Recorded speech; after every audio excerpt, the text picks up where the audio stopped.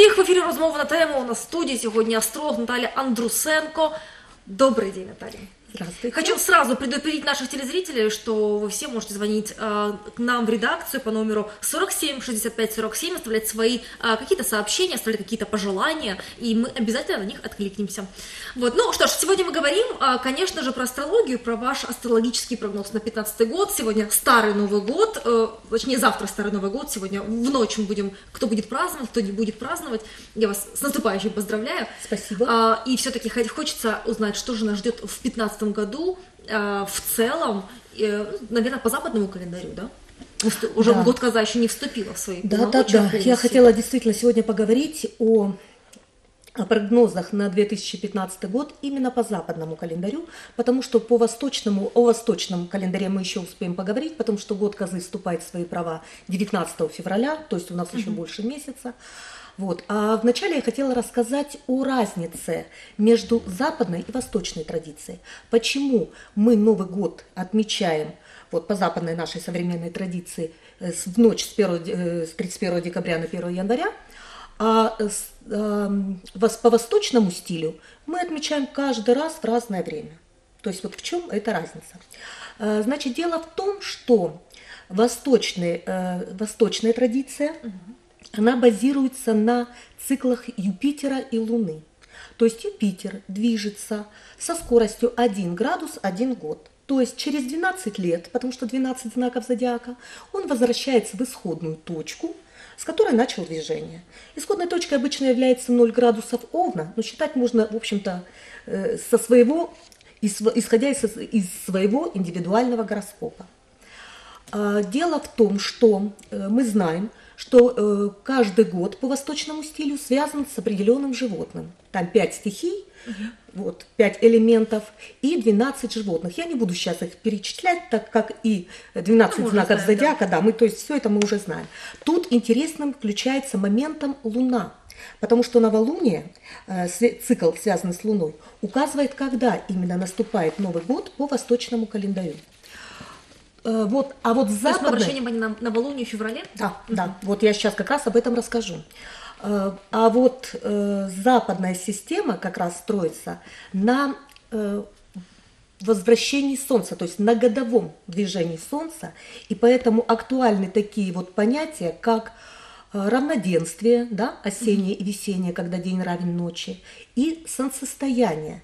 Солнцестояние летнее – это когда э, самый длинный день, да, это вот летом 21 июня, и 21 декабря, ну, тире 22 декабря, э, там, получается, в течение суток солнце возвращается, и мы, мы имеем самый короткий день и самую длинную ночь. И считается, что солнце после, этого, после этой даты поворачивает на лето.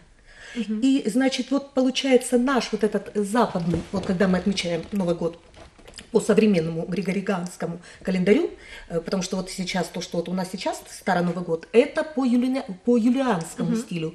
То есть э, люди, ну, вот, верующие, э, религиозные деятели больше от- отдают предпочтение именно юлианскому. Именно с- сегодняшнего да, сегодняшнему, да. И дело в том, что когда мы отмечаем наш традиционный Новый год, это как раз приходится на рождественский пост. И, а вот сейчас уже пост закончился, и поэтому с сегодняшнего дня мы можем уже более э, красиво Отведать и, э, да, отведать, да, да, и поросенка можно. Вот я сегодня слушала по радио. В общем, можно такие вот хорошие там и курочку, и мясо, и все. То есть, по- то есть мы уже не придерживаемся этого поста. Так вот, я хотела еще про западную систему сказать, что э, действительно этот Новый год привязан к дате 21 декабря, 21 декабря, э, то есть через 10 дней мы начинаем отмечать наш Новый год. А вот э, в восточной традиции наступлением Нового года считается второе новолуние после зимнего солнцестояния. Почему второе, а не первое? Потому что должен пройти полный лунный цикл после вот этой даты. И тогда только уже считай, э, значит, китайцы даже называют это праздником весны. Весна еще фактически не наступила, но считается, что уже в Земле происходит движение токов, то есть уже начинается mm-hmm. какой там корни начинают уже просыпаться, то есть а потом еще не листиков сейчас еще как бы и почки еще, еще и снег везде лежит. Вот, а внутри уже в Земле начинается уже движение, уже идут определенные токи. Вот, и поэтому когда это новолуние наступает, вот тогда мы и отмечаем э, Новый по год по, вос... по насто... да, права, да, в права, да, Новый год э, по новому стилю. Э, вот в этом году э, почти практически как бы совпало, потому что 22 декабря было новолуние, и поэтому мы вот второй э, цикл начинается с 20, э, вот 19 числа, это угу. вот будет второй цикл. Тогда уже... Февраля, да. Именно февраля, конечно, уже цикл полностью угу. январский прошел, и вот 20, 19 э, февраля наступает второй цикл э, сине-зеленой овцы, козы. То есть для китайцев нет разницы, синяя или зеленая, коза или овца. То есть это все одно и то же. То есть как, как ни называйте, я ее называю вообще бирюзовая. Бирюзовая коза, да, ну, в общем, вот так. Что еще хотелось сказать? Э, по западной системе, раз мы уже касаемся западной системы, в 2015 году некоторые значительные астрологические факторы указывают на то, что 2015 год будет, может быть, немножко более спокойным, чем предыдущие. Меньше жестких и таких вот напряженных конфигураций. Э, больше э, действует ряд гармоничных, стабилизирующих астрологических факторов. Вот. Большая часть, конечно, которых приходится на вторую половину года. То есть первая половина еще будет такой э, Да, да, да. То есть, но все-таки, к сожалению, сказать, что мы полностью вышли из кризиса, это еще рано радоваться. Да, то есть еще все-таки достаточно сложный период. Я э, не это хочу. Для Украины или это мы мы берем вообще сейчас все, то есть угу. полностью ситуацию в мире. Но я сейчас хочу сказать именно вот для Украины.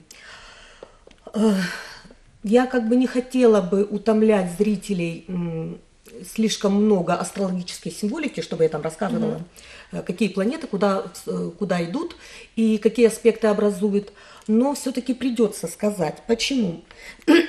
Потому что будет все-таки в этом году, в 2015 году, много неприятных событий, связанных с, ну, скажем так, несоответствием, конфликтом идеализма и реализма.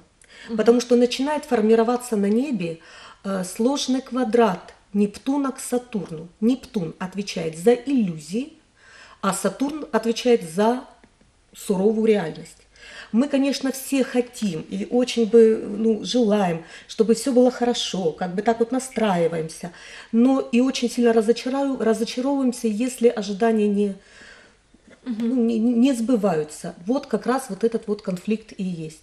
То есть сильно рассчитывать на то, что все будет гладко и сладко, в общем-то, не приходится. Поэтому справиться с разочарованием, ну, можно, если ну, немножко приподняться над ситуацией и ну, понимать, что мы сейчас, э, Украина переживает, ну, так называют, да, называемый эффект шоковой терапии, да, но это как бы в лечебных целях, э, потому что люди меняют свой менталитет и, ну, в общем-то, просто меняются. Угу. Вообще хотела сказать, что 15 год будет отмечен рядом ярких астрологических и астрономических событий. А именно, э, Например? в год, да, в этот год будет два солнечных затмения. Угу. Это 20 марта и 13 сентября. Из них наиболее ярко проявлен, э, проявлено затмение 20 э, марта, потому что оно как бы вызывает ну, как бы символизирует, не вызывает. Вы увидели, еще пока ну, неизвестно. Э, пока неизвестно, что у нас будет за, за погодные условия, во сколько оно будет и так далее. То есть я думаю, что по ходу угу. э, встреч наших мы будем уже как, как бы конкретнее Будем говорить. То есть, да, да. Вот, потому что это горячее время для политической и экономической жизни страны. Вот в марте и апреле, угу. потому что мартовское затмение будет давать и э, посыл на апрель. А лунных затмений тоже будет два, причем оба полные. То есть э, я не буду тоже так сильно комментировать mm-hmm. сейчас. Это говорит о том, что э, очень сильно будет э, приковано внимание общества к определенным проблемам. А именно, э, первое лунное затмение будет 4.04, то есть 4 апреля. К сожалению, оно связано со сложностями, конфликтами, иногда чрезвычайными происшествиями, поэтому я призываю вас быть внимательными, бдительными и аккуратными. То есть постарайтесь на конфликт не нарываться. А вот второе затмение 28 сентября, оно больше будет связано... Или 13 -го. Нет, нет, 28? нет, это 2, 13 это будет солнечное. солнечное. Значит, 20 марта и, и 13, 13 сентября это будет солнечное, а лунное 4 апреля и 28 сентября. Э, оно будет больше связано с взаимоотношениями между людьми, э, то есть это образование союзов, разрыв союзов, переговоры и так далее. Угу. Вот. И еще два таких вот знаменательных события. Две планеты меняют знак. Юпитер и Сатурн. Это тоже не каждый год встречается. Бывает одна планета меняет, то есть они по-разному. А тут получается как бы одна за другой. А что значит знак менять? Э, значит, меняется знак, меняется акцент. То есть люди начинают немножко по-другому мыслить. Либо шире, либо уже. Либо фанатизм в людях проявляется, либо наоборот люди как бы широко, с, широкой, с широко распахнутым сердцем идут mm-hmm. навстречу э, судьбе. Э, а вот теперь хотела сказать насчет судьбы, потому что как бы всегда я говорю о том, что как нужно правильно относиться к прогнозам.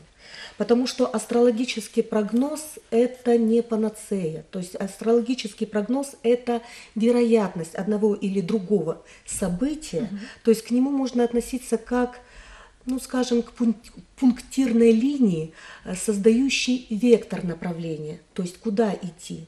То есть никакой, не стоит всецело полагаться на никакой прогноз, никакой прогноз не может дать стопроцентно гарантированный э, результат, потому что прогнозы могут изменяться, если изменяются наши мысли, наши чувства, желания, наши действия или поступки. А вот в масштабах э, массового коллективного сознания это большая сила. То есть если мы все mm-hmm. вместе захотим, ну, например, вот, мира мы захотим, или, то есть это большая сила, мы можем все-таки воздействовать на, на пространство mm-hmm. и время. На время не скажу, а на пространство да. Поэтому, в общем-то, поспокойнее к этому нужно относиться, понимая, что это просто всего лишь тенденция. Давайте приступим к прогнозу для каждого из знаков зодиака на 2015 э, год. Значит, это прогноз по западной системе с элементами восточной системы, угу. потому что все-таки Юпитер э, закон, закон не отменял движение планет. То есть, То есть в целом прогноз можно движ... применять уже с февраля или вот э, сегодняшнего с, сегодняшнего дня, с марта, дня. да, с марта, с марта месяца, потому что с 1 января можно считать. Угу. У овнов. У овнов появится возможность отдохнуть, набраться сил, пересмотреть отношения в союзе, в котором Увен сейчас находится, либо поискать нового партнера.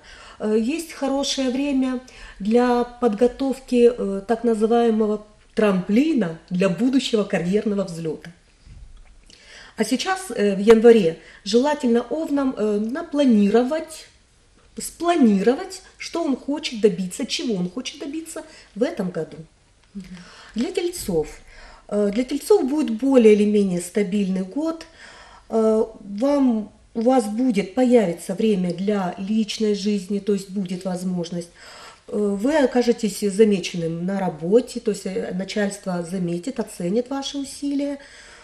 И желательно, ну как бы это как пожелание, э, не живите в привычном ритме, побольше будьте с людьми, потому что вас там могут в коллективах разных, то есть общайтесь с разными людьми, э, вас могут ожидать неожиданные и очень приятные знакомства. Коммуникации. Да. Близнецы, близнецы. как раз о коммуникациях, угу. потому что близнецы у нас знак воздуха связующий. До конца года близнецы могут пересмотреть свои, э, большинство из своих планов, Возможно, у близнецов вспыхнет внезапный роман, который изменит жизнь одиноких близнецов. Поэтому тоже нужно быть внимательно и оглядываться по сторонам. Есть риск, что работа не будет приносить особенного дохода, зато хобби может выйти на передний план и восполнить этот пробел. Раки. Вас ждут э, действительно раз, э, перемены. Э, Для раков это очень такой интересный год. Перемены и в карьере, и в личной жизни. Э, В начале весны вы можете улучшить свое финансовое положение, а если будете достаточно экономны, к концу лета вы можете сколотить хороший капитал. Вот. И будьте осторожны, это особенно предупреждение э, для раков, именно в дни лунных, сол- э, не солнечных, а именно лунных затмений. Это 4 апреля, еще раз повторяю, 28 сентября. Потому что раки управительница Луна, и они очень реагируют больше, че- нежели другие знаки зодиака. Положитесь на свою интуицию, и все будет у вас хорошо. Львы? Львы. Первая половина года будет для львов успешной. Юпитер идет по льву, так что все хорошо. И вообще, это, э, когда Юпитер идет по льву, это лучше, конечно, для огненно-воздушных знаков. А э, в сентябре, по-моему, или в конце августа, ну, в общем, к осени Юпитер переходит в Деву. И тогда для земноводных, для земных и водных знаков будет более успешное время. Поэтому сейчас и работа вас радует. Тоже посмотрите по сторонам, может быть, у вас, у вас как бы роман, роман может, может быть. Может быть, уже кто-то неравнодушен к вам. То есть будьте повнимательнее. Вот. Э, Если лев уже находится э, ну, в отношениях, можно подумать о продолжении рода в этом году. Девы. Девы. Для дев в начале года возможно, возможны финансовые затруднения и ну, проблемы определенные на работе. Зато весной начинается процесс, э, в общем, поворот. То есть уже начинается полоса везения. И можно, может дев- дева достичь э, определенных успехов и на, профессия- на профессиональном поприще, и в личной жизни. Э, Вы можете оказаться весной во власти каких-то романтических увлечений, э, во власти, возможно, иногда даже бурных страстей. Но к августу страсти поулягутся. В общем, тоже будьте внимательны. Весы. Весы будут в центре внимания во всем, всегда и везде. Вам сопутствует удача, вы располагаете людей к себе. Э, Однако осенью вам может э, немножко поднадоесть вот этот вот бурный ритм, потому что что хорошо для Овна, не очень хорошо для весов. Уран, идущий по Овну, для Овна это нормальное состояние. Активный, бодрый, яркий образ жизни. А весы любят более спокойные отношения. Поэтому, наверное, могут, они- могут они подустать и смогут уйти немножко в тень. Но конфликты вообще возможны. Потому что Уран не оставляет в покое ни Овнов, ни весов. Но основ- это основные точки. Ко- Конечно, Уран на, на все знаки зодиака действует. Но вот как целом, раз именно на эти знаки. на эти знаки, да. Э, Скорпионы. Э, Скорпионы – это буквально сгусток энергии. И начальство вас может хорошо оценить. Э, К осени можно ожидать прибавку к зарплате. Вот. Одинокие скорпионы не склонны сейчас к серьезным отношениям.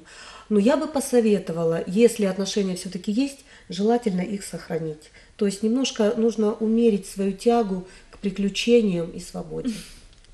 Стрельцы. Ну, это просто, я же говорю, Это что это, это рекомендации. рекомендации, да. Люди должны делать так, как они по зову сердца, то есть как они чувствуют, как они хотят.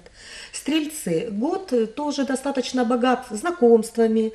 Это и приятное общение, и выгодные э, финансовые предложения, там, творческие проекты и так далее. В личных отношениях э, будет наблюдаться некоторый застой, но к ноябрю месяцу жизнь забурлит. Так что удачи. Козероги. Э, Для козерогов первая половина года э, тоже, возможно, ну такая проблематичная, возможны проблемы и финансовой, и личной жизни. Однако к концу лета вы ощутите прилив сил. В это время э, одинокие козероги могут встретить свою любовь. Осень более успешна и прибыльна. Я же говорю, Юпитер заходит э, в знак Девы, и э, очень хорошо это для, для знаков земного тригона и водного, соответственно. Так что первая половина года больше для огненной стихии воздушной, вторая половина года больше для земных, земных и, да, и водных знаков. Водолеи. Э, Водолеи, вас ожидает во успех во всем, что касается творчества. Во всем остальном в личной жизни и финансах, ну, несколько более проблематично.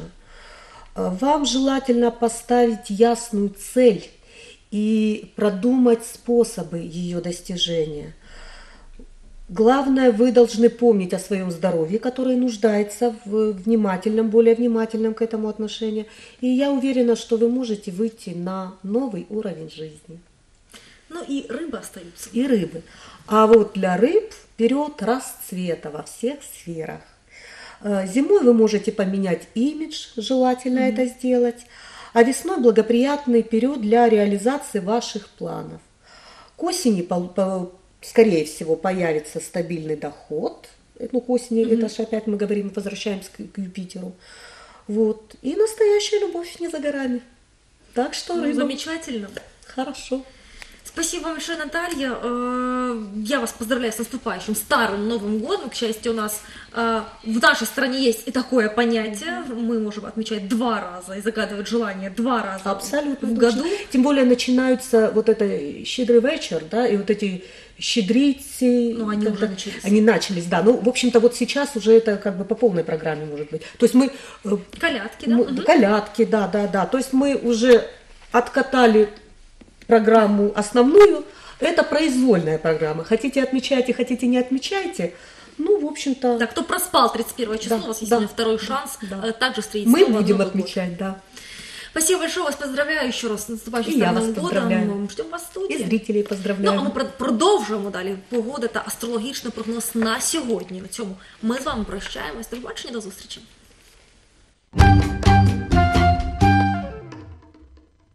На календарі 13 січня вівторок. Схід сонця о 7 годині 54 хвилини, захід о 16 годині 19 хвилин. Тривалість дня 8 годин 25 хвилин. Місяць у Терезах та Діві йде 22 місячна доба. Цього дня іменини відзначають Меланія та Петро. Вітаємо їх з ним Янгола. За народним календарем 13 січня Миланки, свято на честь Милані Римлянки, яка прославилася заснуванням багатьох монастирів. Вечір цього дня зветься Щедрим. За віруваннями наших предків, у ніч напередодні Нового року щедрий Бог сходить з неба і бажає родині достатку. Тому вечеря має бути щедрою із м'ясними стравами і млинцями. Молодь перевдягається в миланку та козу, на яких усе не до ладу. Перевдягнена молодь щедрує під вікнами хат і в оселях водять козу. Вважається, що новорічня ніч для віруючих розкриває небо, і вони можуть попросити у святих все, що їм забагнеться. Цей час також найсприятливіший для ворожіння. Крім ворожінь, люди намагалися завбачувати погоду. Погода кожного наступного дня відповідала погоді кожного з 12 місяців. Якщо в ніч вітер дув південний, то рік очікували спекотний і урожайний. Західний вітер передвіщав хороші надої і достаток риби, а східний рясний урожай фруктів. Якщо помічали на вікнах лід, то розраховували на достаток меду. З цього часу день прибуває. А зараз якою буде погода 13 січня? За повідомленнями синоптиків в Миколаєві та області очікується ясна сонячна погода без опадів. Вітер південно-західний 3-7 метрів за секунду. Атмосферний тиск 770 мм ртутного стовпчика. Вологість повітря 70%. В Миколаєві вночі прогнозується від мінус 4 до мінус 1 градуса, а вдень потепліше до плюс 2 на території області Первомайську, Вознесенську, Южноукраїнську, Очакові, Снігурівці нічні температурні показники зафіксують від 7 морозу до нуля, а денні коливатимуться в межах 2-5 градусів вище нуля. Максимальна температура цього дня плюс 12 градусів тепла була зафіксована у 1993 році, а мінімальна мінус 22,3 морозу у 1972 році. Це був прогноз погоди. А далі наш астрологічний прогноз. Що віщують нам зірки 13 січня? Овни. Цей день можна сміливо присвятити любові сімейним відносинам, новим знайомствам, які можуть перерости в серйозні тривалі стосунки. Зірки сприяють і вашим фінансовим справам, не виключені привабливі комерційні пропозиції або виграш. Тельці день сприятливий для ремонту або благоустрою будинку, справ пов'язаних із землею, будівництвом або проєктуванням. Будь-яке вкладення грошей принесе прибуток. Близнюки. Доля дає вам шанс поліпшити своє фінансове становище. Ви зможете проявити себе в різних сферах діяльності. Раки. Слід дотримуватися обережності, оскільки можливий конфлікт з кимось із близьких. Не плануйте зустрічі і не сперечайтеся ні з ким. Другу половину дня присвятіть дому, сім'ї та дітям. Леви. Ймовірно, небажана зустріч або неприємна звістка. Зірки попереджають чоловіків про деякий спад у фінансовій сфері. Жінкам нове захоплення може принести розчарування. Діви. Перевантаження та нервова напруга може стати причиною стресів та захворювань для чоловіків. Слід звернути увагу на стан свого здоров'я, дотримуватися режиму харчування, відпочинку і сну. Терези. У першій половині дня вірогідні дрібні неприємності, а в другій вам доведеться докласти більше зусиль, щоб досягти взаєморозуміння та гармонії у стосунках з партнерами та близькими людьми. Скорпіони. Девіз дня любов, спокій, злагода. Відносини з оточуючими стабілізуються. День сприятливий для відвідування театру, музею, концертного залу. Присвятіть другу половину дня спілкуванню з коханою людиною. Ви отримаєте позитивний заряд на весь тиждень. Стрільці не виключена поява свіжих ідей, які дозволять знайти нові джерела заробітку, тривалі поїздки та подорожі або відпочинок на лоні природи з близькими людьми, знімуть нервову втому. Самотніх чоловіків чекає романтична зустріч. Козероги день несприятливий для фінансової діяльності, можливі розбіжності з начальством та неприємності зі здоров'ям. Водолії Ваша матеріальна сфера вкрай вразлива. Будьте уважні і обережні, тримайте під контролем найбільш цінні речі, ймовірні крадіжки. Цього дня краще не давати грошей у борг і не підписувати фінансових документів. Риби. Можливі серйозні розбіжності з партнерами з приводу зароблених коштів. В результаті ви можете опинитися у збитку. Бажано усамітнення, але не впадайте у відчай. Не все так погано, як здається.